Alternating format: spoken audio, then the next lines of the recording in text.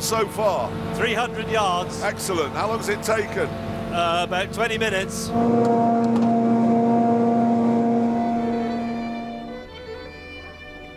Eventually, we arrived in the centre of Stratford and encountered our first obstacle. Now, the bridge, Yeah. you, know, you need to know that the bridge is from 1480.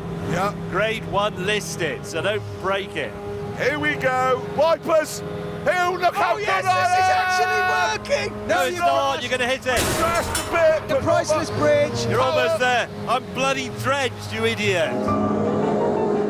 Having made a bit of a mess of that bridge, I came up with a cunning plan for the next one.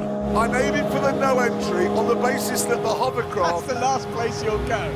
It's, if you aim for something, you're not going there. Unfortunately, my plan didn't work.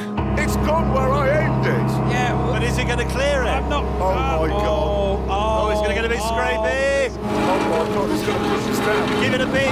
Give it a beat. That's amazing. We did a thing! We did a thing! Look at, oh God, rowers. Concentrate.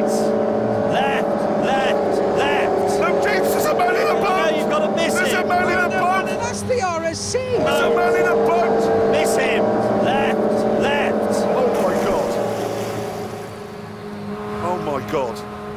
Where is he? He's here, he's, he's here. Oh, So I'm really sorry. sorry. Sorry, mate. We're probably not that welcome here. We therefore decided it would be best to get out of town.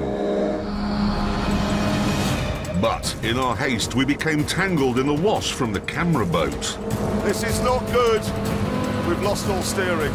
We are in deep here. Brace, brace, Brace, brace, brace.